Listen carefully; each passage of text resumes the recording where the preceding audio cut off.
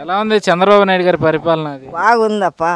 మేం లేదని లేదు తీసుకుంటా ఉన్నాం బాగున్నాం. మరి గెలుస్తారు ఈసారి చంద్రబాబు నాయుడు గారు జగన్మోహన్ రెడ్డి గారు గెలుస్తారు. అసలనే దేవునికి కోరుకుంటా ఉన్నాం. ఎవరు గెలుస్తారు?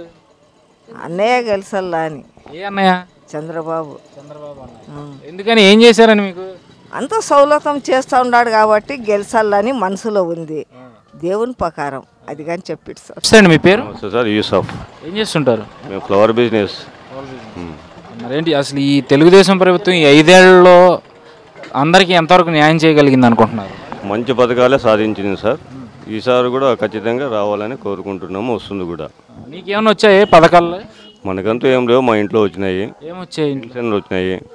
మా గ్రూప్ తరపున అమౌంట్ కూడా వచ్చింది. ఎంత వచ్చినాయి ఆ లక్ష రూపాయల వరకు వచ్చింది గ్రూప్ తరపున. పసుపు కుంకుమ కూడా వచ్చినాయి. అన్ని మన పథకాలు ఏమో బాగున్నాయి సార్. ఖచ్చితంగా తొంభై శాతం రావచ్చు అని మా నమ్మకం. ఎవరు?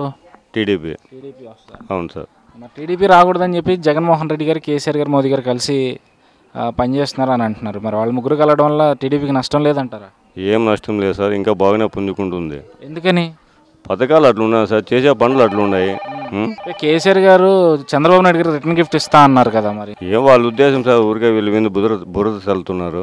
ఏమీ కాదు. నష్టమేం లేదు. కేసీఆర్ గారు ఇక్కడ ఈ రాజకీయాల్లో వేలు పెట్టడం ఎంతవరకు కరెక్ట్ అని మీరు అనుకుంటున్నారు? సరే వాళ్ళకి తెలుగు రాదు అక్కడ. వాళ్ళు ఏమేమో చెప్తుంటారు. ఉం? మనం ఇక్కడ తెలుగు వచ్చేవాళ్ళు మనం అర్థం చేసుకోవాలి? మీ నియోజకవర్గం విషయానికి వచ్చేసరికి ఎవరు మీ ఎమ్మెల్యే? మన కేశవ గారే. ఎమ్మెల్యే ఎమ్మెల్సీ ఇక్కడ ఎమ్మెల్యే వచ్చి విశ్వేశ్వరరెడ్డి ఉం. అంటే ఏ- ఎంతవరకు అభివృద్ధి చేశారు మీ ప్రాంతం విశ్వేశ్వర రెడ్డి? అంటే వాళ్ళకి గవర్నమెంట్ లేదు ఏం చేయలేదు ఇక్కడ.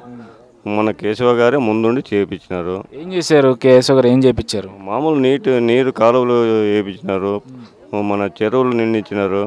అలాగే మన స్కూళ్ళు మన ఇవి మన ముస్లిమ్స్కి షాదీఖానా నిర్మించినారు. కొత్తది ఇంకోటి కూడా ఓపెన్ చేసి చేయబోతున్నారు.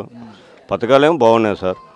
అంటే సీనియర్ మోస్ట్ నాయకులు కేశవ్ గారు అంటే రాష్ట్రంలోనూ పార్టీలోనూ? అలాంటి వ్యక్తి మరి మీ అందరికి ఎంతవరకు అందుబాటులో ఉంటున్నారు? అందుబాటులో ఉన్నారు కూడా ఉంటారు కూడా సార్. ఈసారి ఆయన గెలిచే అవకాశం ఉందంటారా? తొంభై తొమ్మిది పర్సెంట్ గెలుస్తారు సార్.